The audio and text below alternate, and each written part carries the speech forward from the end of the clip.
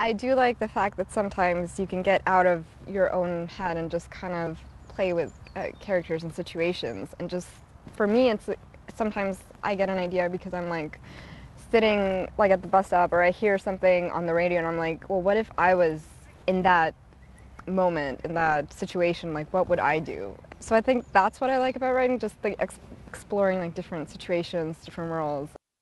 I actually love just the people that are in the course, um, both like our lecturers, both our guests um, who come in, because they're from so many diverse places. Like some of them are more screenwriters, some are more poets.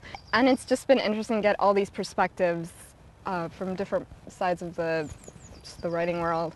And I think it's that collaboration that happens um, just through different styles and different genres. And, yeah.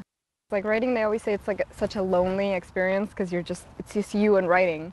But when you actually have people who are actually like with you in the process and they're like, oh, I see what you did there when you changed it, but what if, you know, did you feel like this happened or what if you moved this around? So I think that's what helps it a lot because it's not just you writing, you're actually having a conversation with people as it's going along.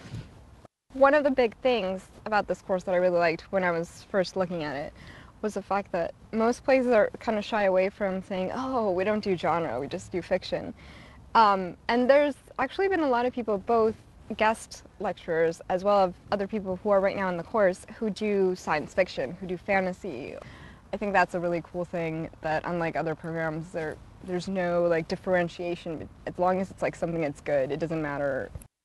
One of the cool things is the whole, uh, the fact that people from publishers come into the class and they kind of give us because yeah, we have a lot of the guest lecturers come in and be, tell us their experience in writing, but then also to have someone from the publishing industry and be like, okay, yeah, when I get these manuscripts, this is what I'm looking for, or I would want this in a cover letter, or this is what you would want to present yourself when you're reaching out to publishers. So I thought that was extremely helpful because it's different than just like sending your stuff blind to actually know like, okay, this is kind of what they want one of the things that have changed is that now I'm thinking, okay, how do I reach this audience? How do I say it that it's just not in my head, but they can see it too, they can feel it.